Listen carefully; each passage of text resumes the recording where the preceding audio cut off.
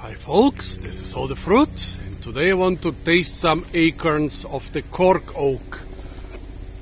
Acorns have been, I would say, one of the most important plant foods in at least in temperate areas of the northern hemisphere for thousands of years.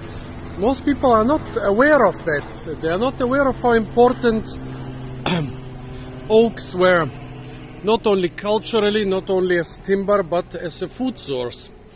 Especially before agriculture became widespread in temperate areas, people would eat the acorns directly.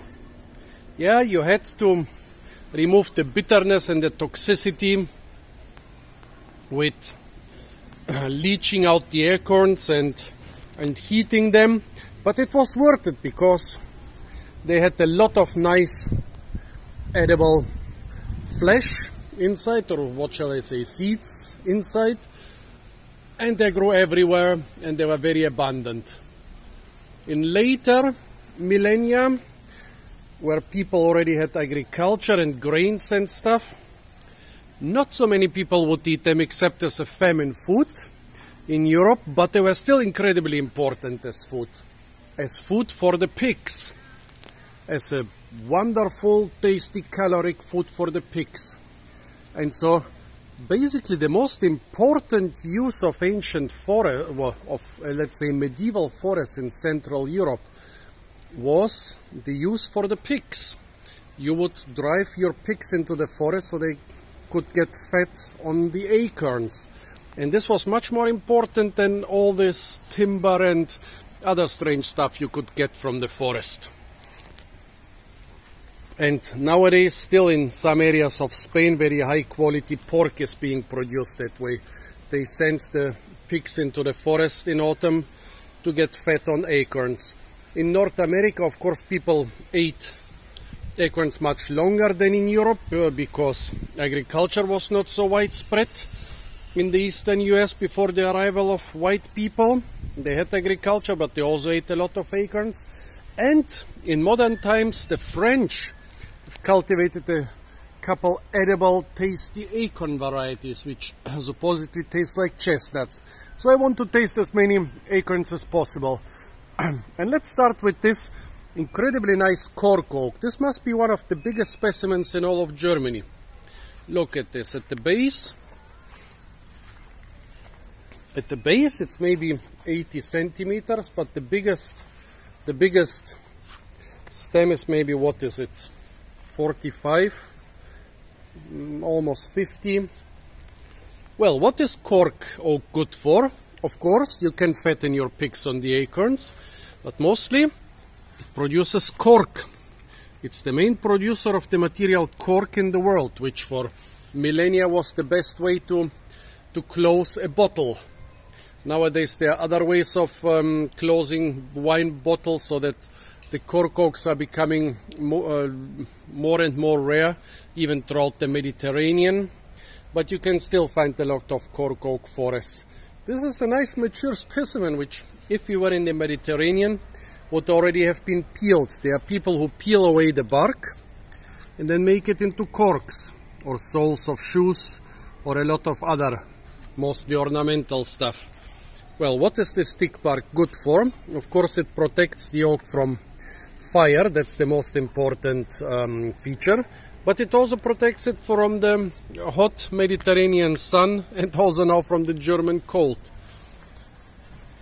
Yeah, I wanted to make this video somewhere in a Mediterranean cork oak grove, but they are not so common because cork oak grows on, on acidic soil. It doesn't grow on limestone and in the Mediterranean a lot of the soils are limestone big cork groves. They, they are mostly in, in North Africa, in uh, Morocco, also in Spain and Portugal, and on the Italian island of Sardinia.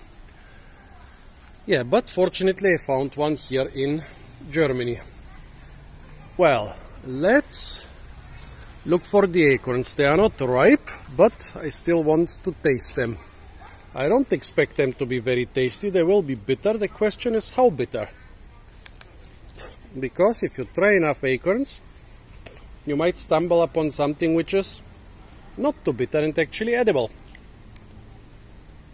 Okay, I remove the I remove the cap here once more, what they look like with the cap on.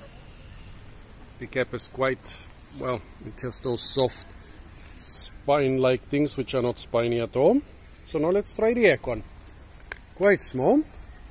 There are also very few pollinated ones here. I think because there are not enough partners for pollination. Well, it is bitter, but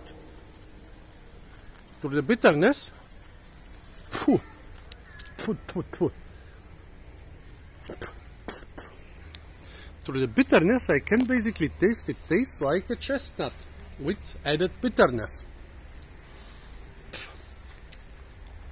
So you can imagine chestnuts were not too rare in cooler areas of Europe. Chestnut is more a tree of Mediterranean mountains, not so much of Central Europe. Mm, in most areas of Europe, chestnuts were not present, but oaks were. And actually, for many centuries throughout Central Europe and many other parts, they were so valuable that they were that they were sown. So basically, people would collect a, a bag full of acorns and sow them into some place, for example, into a beech forest, into or into a maple forest, because they considered an oak forest to be more valuable because you could use the acorns for food by sending them through a through a pig and using the pork for food. So folks, the acorns of the cork oak, yeah, quite interesting, not as bitter as some other acorns. Basically tastes like chestnuts with added bitterness. And since there are ways to remove the bitterness, this is quite interesting. I didn't find anything on the acorns being used for for human food, the, the acorns of the cork oak being used for human food but I'm sure you can use them like most other ones. And I'm planning to go into some botanic gardens and stuff my face with many different acorns in order to find out if I can find some which are not too bitter.